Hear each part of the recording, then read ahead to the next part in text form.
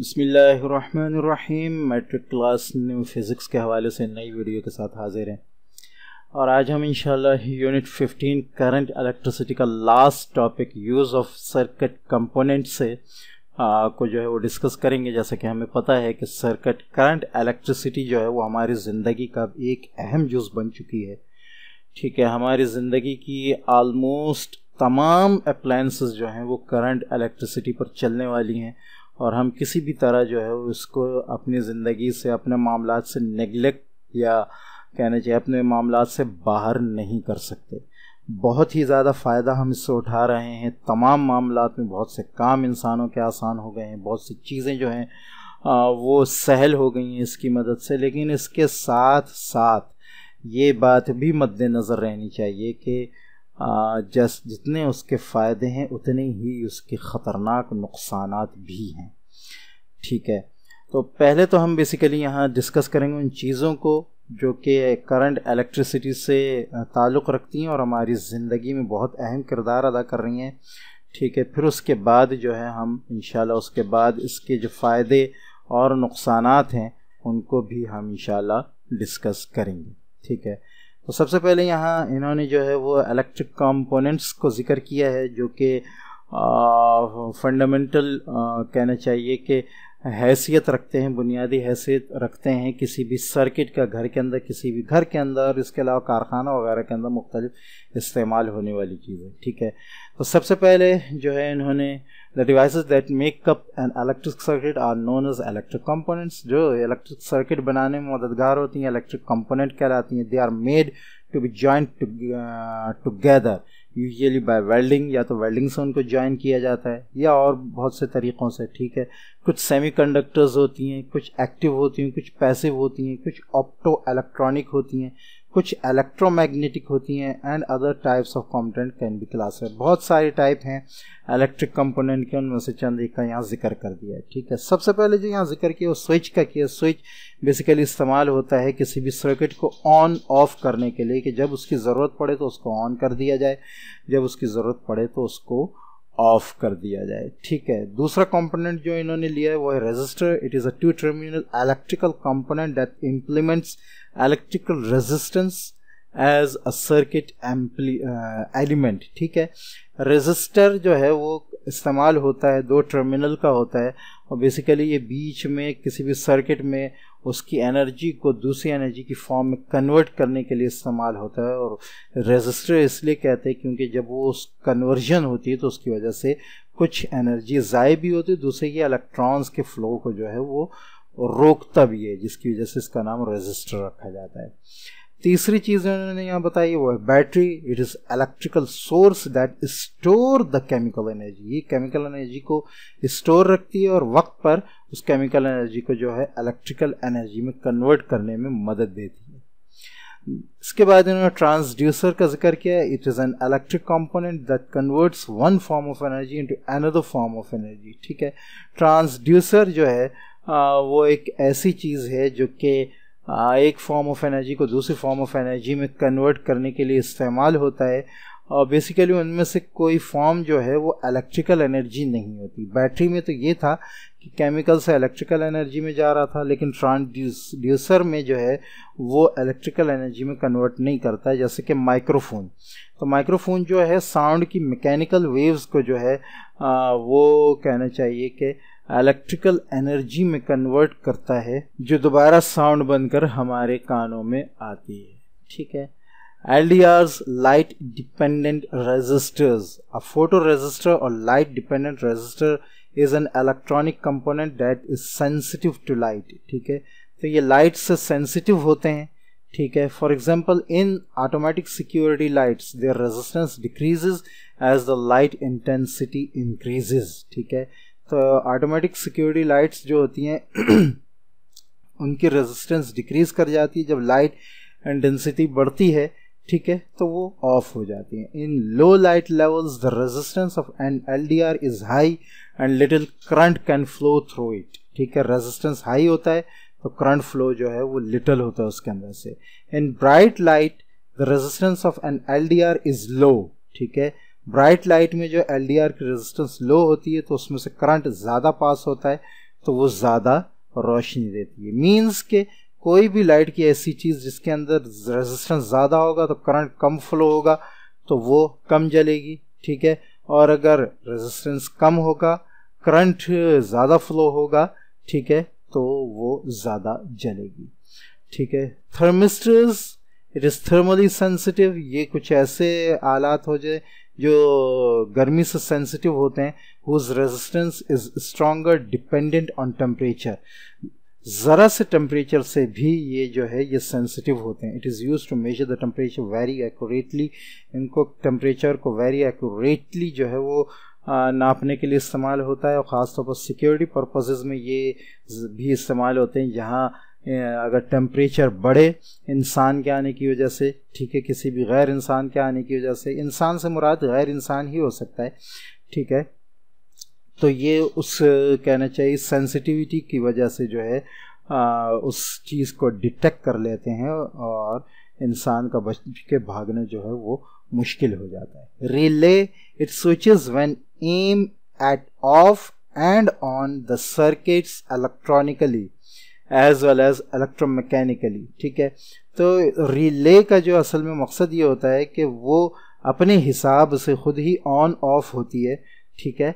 ताकि कहना चाहिए कि अप्लायंस को जो है नुकसान ना पहुँचे। जैसे कि फ्रिज वगैरह में रिले इस्तेमाल हो रही होती है या आ, कहना चाहिए कि ये स्टेबलाइज़र वगैरह में रिले इस्तेमाल हो रही होती है ताकि जब लाइट की ज़रूरत पड़े तो वो खुद ब खुद ऑन हो जाए इलेक्ट्रिक करंट पास होने लगे और जब ज़्यादा ज़रूरत ना हो तो वो खुद ब खुद ऑफ़ हो जाए।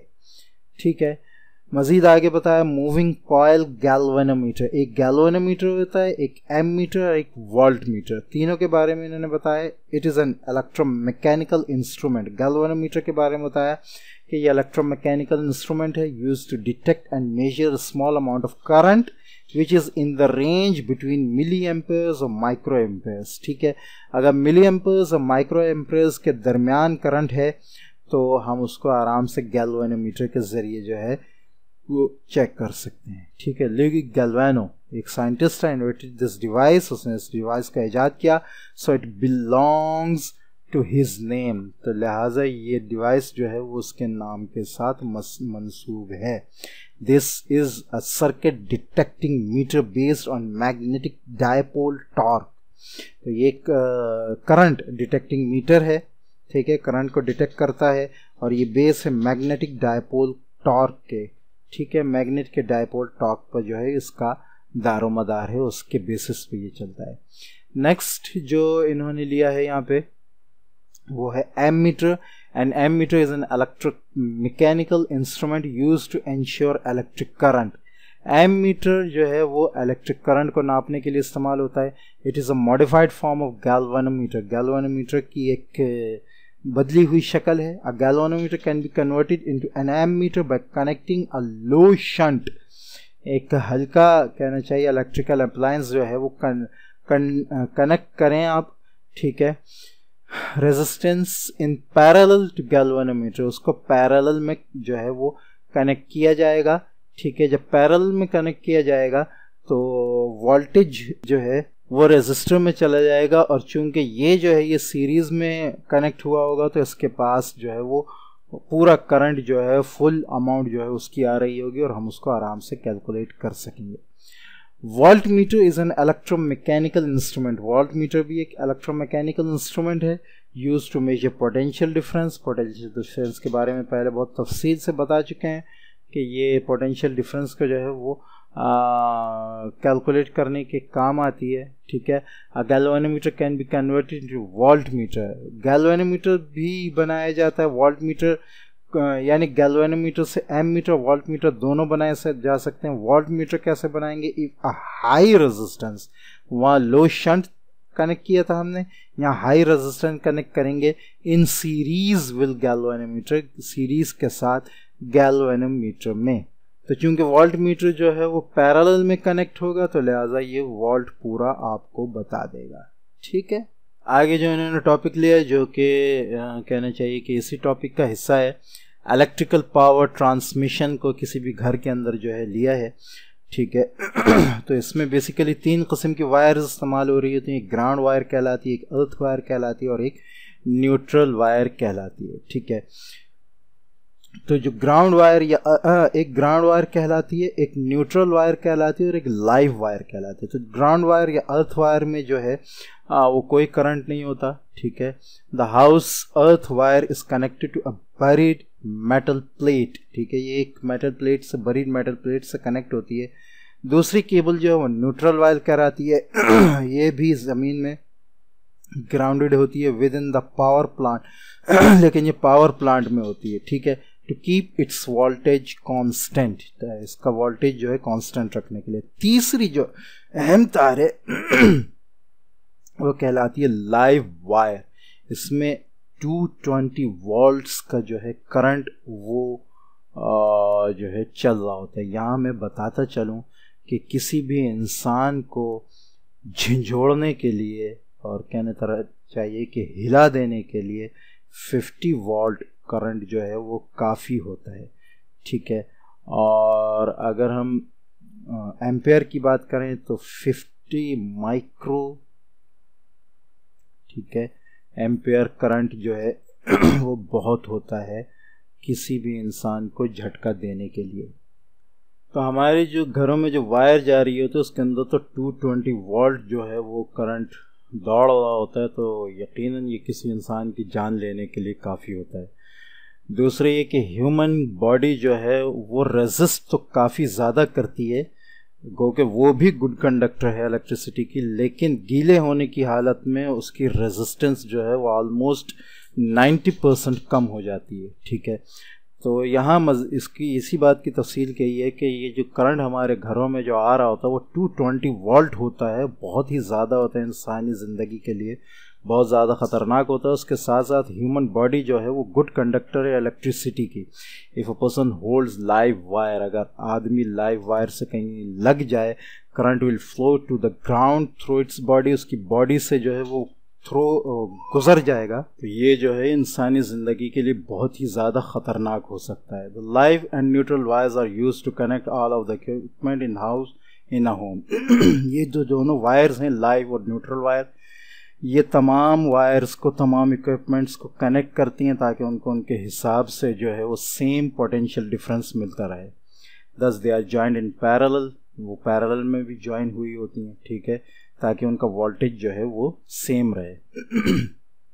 ठीक है, जैसा कि आपको पता है कि पैरल में कनेक्ट करने की वजह से जो है वोल्टेज सेम रहता है। ठीक है? अच्छा a connection has been made between the cables coming from the mains and the electricity meter that has been installed in the resistance as shown अच्छा तस्वीर में बताया भी ये ठीक है the main box has fuses with rating of about thirty ampere each appliance has its own connection made directly to the live wire a fuse and switch are use तमाम appliances इन्होंने यहाँ ऑलमोस्ट जो अहम appliances हैं, वो यहाँ इस आ, उसमें डायग्राम में इन्होंने बता दिए बना दिए ठीक है? In the event that the fuse of one appliance blow it will not have any impact on the functioning of other appliances ठीक है?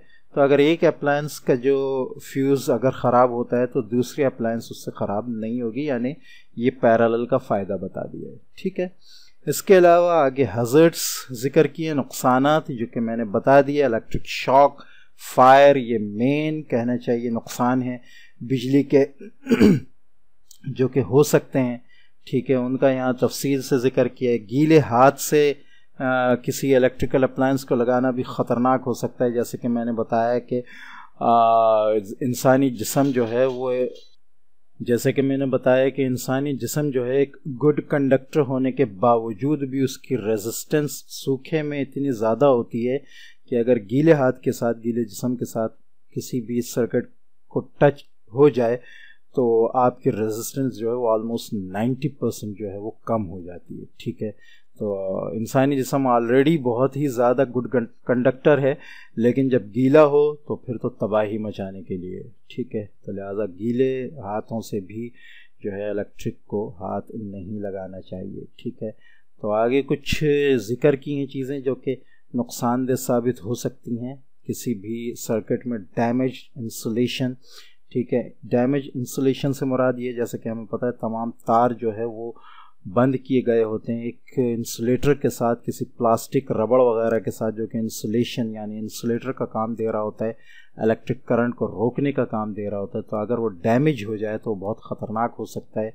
किसी और तार तार से टच होने पर वो कहना चाहिए शॉर्ट सर्किट भी पैदा कर सकता है और इसके अलावा अगर कोई इंसान, कोई जानदार उसको हाथ लगाए तो बहुत ही ज़्यादा ख़तरनाक हो सकता है। ओवर हीटिंग केबल्स की जो है वो नुकसानदेह साबित हो सकती है।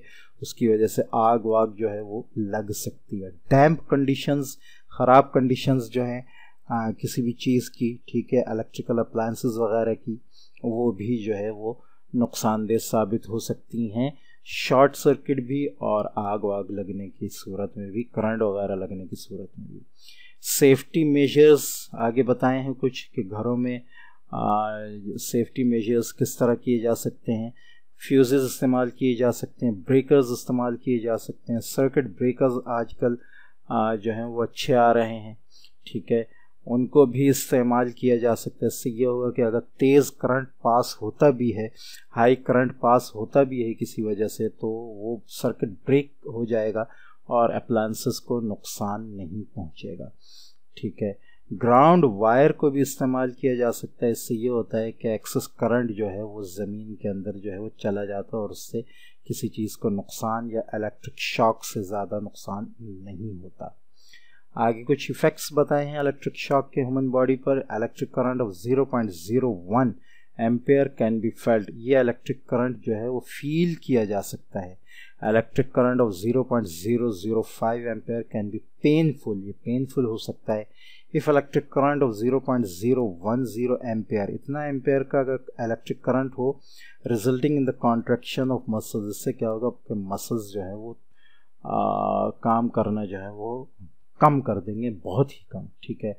Electric shock of 0.015 ampere can leads to a lack of control over the muscles इससे जो है मसल आप मसल्स पर जो है, वो कंट्रोल आपका ख़त्म हो जाएगा। और electric current of 0.070 ampere passes through the heart ये दिल से गुजर जा सक, सकता है, मुख्तलिफ़ अज़ा से गुजर कर जो है, इंसान की मौत का बायस भी बन सकता है। तो ये थे मुख्तलफ़ इफ़ेक्ट्स और फ़ायदे और नुकसान इलेक्ट्रिसिटी के तो उम्मीद है कि ये लेक्चर आपको अच्छी तरह समझ में आया होगा। मिलते हैं नेक्स्ट वीडियो में। तब तक के लिए इजाज़त। असलकम वरहमल वर्का